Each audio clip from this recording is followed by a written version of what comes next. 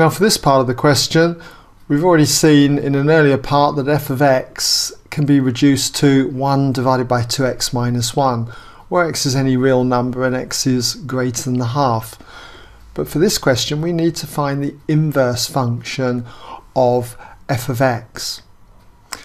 To do questions like this, what I'd encourage you to do is to say let x equal, we change this to an x and wherever you have x's on this side of your equation, turn them to y's. So we've got 1 over 2y minus 1.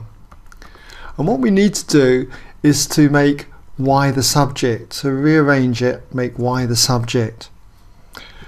So I'd want to multiply both sides by 2y minus 1, so therefore we'd have x multiplied by 2y minus 1 equals 1. Then if I expand the brackets, you've got 2xy minus x equals 1.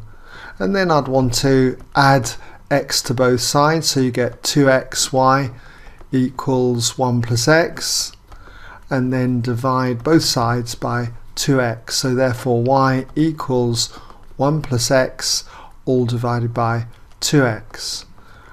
And obviously you could have 1 over 2x plus 1 half, okay, if you did break this down further, but I think it looks better just having it as one term here.